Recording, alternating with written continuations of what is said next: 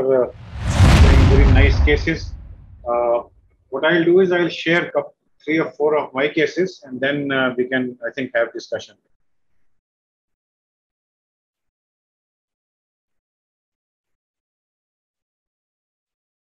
So I hope the screen is visible. Yes, sir, visible.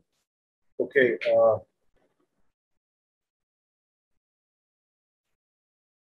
So thank once again to Novartis for having all of us on the same uh, platform.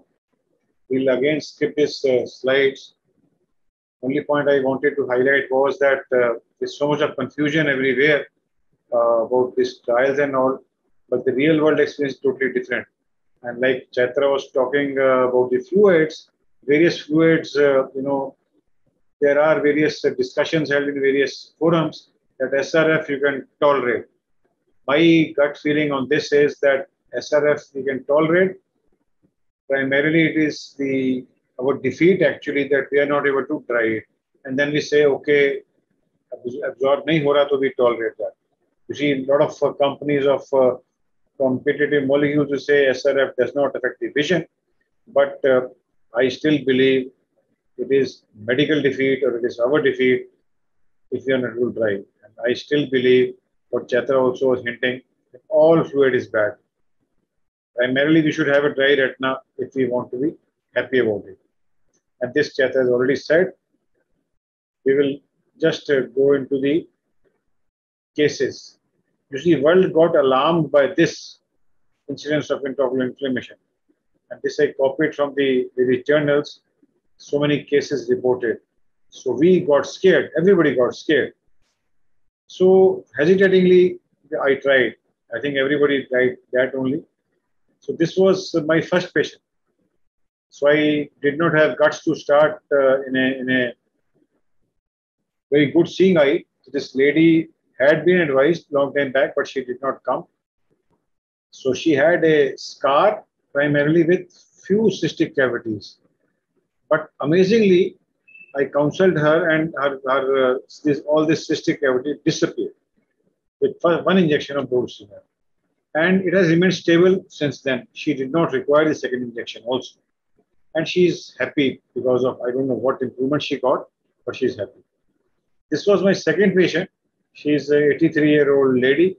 She had good vision. She was maintaining on 612, 69 with multiple injections of ranibizumab. The only reason in the COVID time I offered her because her son was in US and uh, he insisted that I give Dorzolamide. And response, uh, anatomical response, because functionally there was hardly anything to gain here. There's only one line improvement uh, remaining.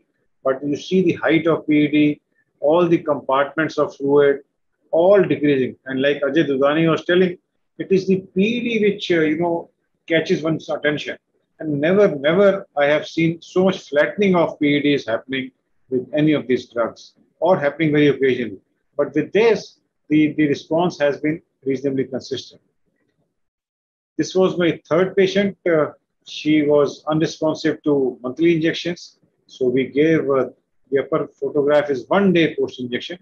And you see the anatomical response again uh, mirroring what uh, Dudani was saying from 588 to 430.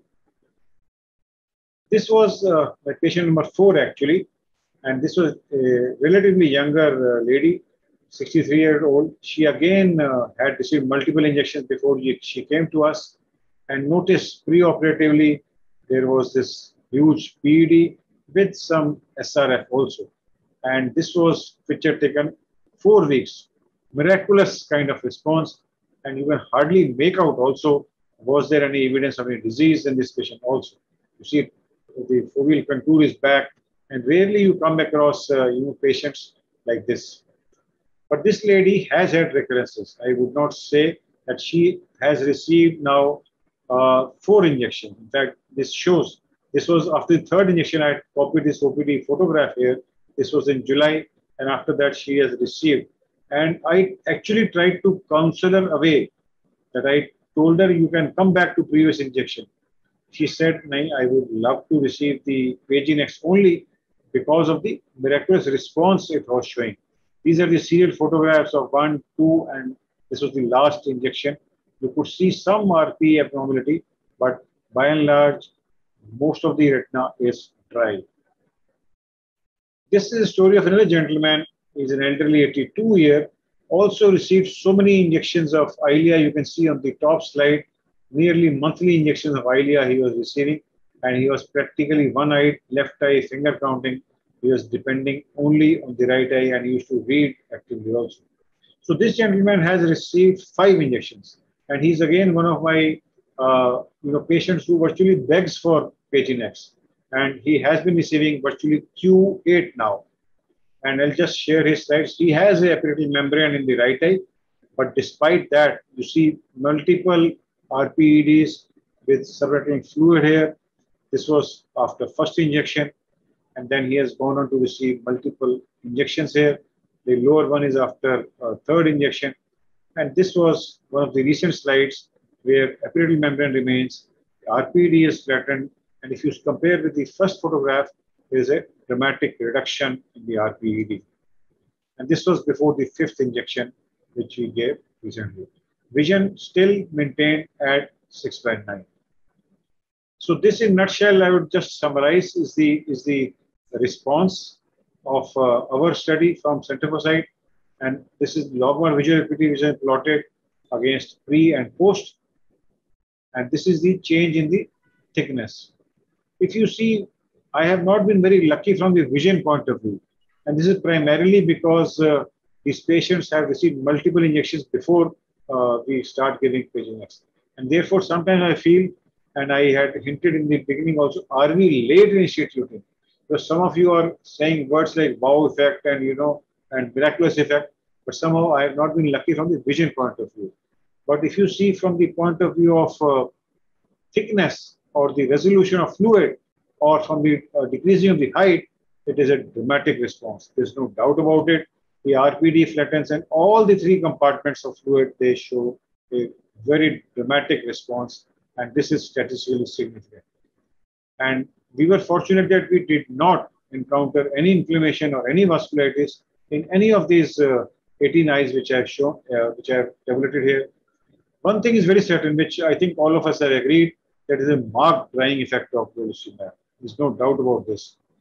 So how do how do we or how should we be taking this forward? Because uh, shall we start treating all ARMD patients with uh, uh, or shall we wait or shall we compile all, all our data so as to become convinced and convince rest of our colleagues also about uh, the, the wonder effects of brolucizumab? You see, what I do is I talk to them.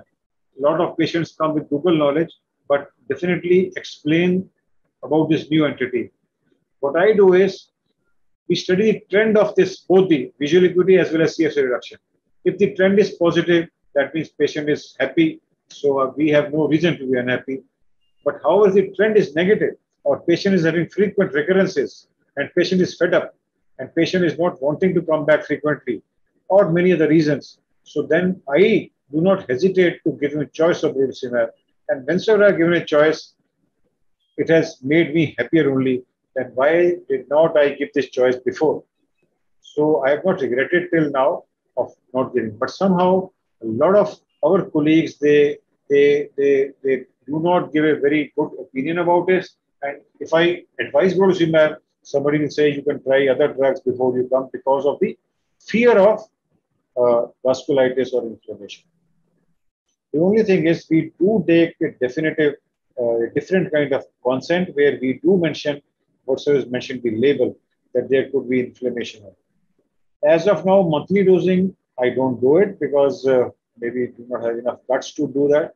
But most of these patients are either on PRN or Q8 or Q12. Regarding initiating treatment, treatment now, I think a lot of, of us have started doing it. This, I think, uh, has already been shown previously. So I tried to collect data from all across the India and spoke to Novartis also and a lot of uh, my friends uh, scattered everywhere. So I did not encounter people telling me that there has been huge amount of, uh, uh, you know, vasculitis or occlusion reported. Uh, I will request Raja to tell us about this small survey which he had done. The only thing, the number of patients, I think uh, there were some limited patients, but definitely an important take home from that uh, we would love to hear from Raja about the, uh, the survey which he had done. The only thing, uh, you see, I would request everybody is, I did paste this in the, the WhatsApp group also. If all of us can agree to develop some kind of common performa, it's very simple performa, something like this, which all of us do, and share so that our, our experience grows, our collective wisdom grows, so that uh, ultimately we can advise with a lot of uh, you know, confidence to our patients that, like Raja was saying, do Indian eyes behave differently with this? Why are we not encountering any even 1% or 2% out of the 4,500 eyes uh, which uh, India has done? We are not encountering even 1% or to talk of 4% inflammation. So I would request that in case we can, you know, take home this and have a collected data so that uh, we can have confidence to give this wonderful molecule. So with this, I'll uh, stop sharing and invite any questions if anybody has. Before we go to, I think Dr. Mehti must have joined by now. I'm not. Uh,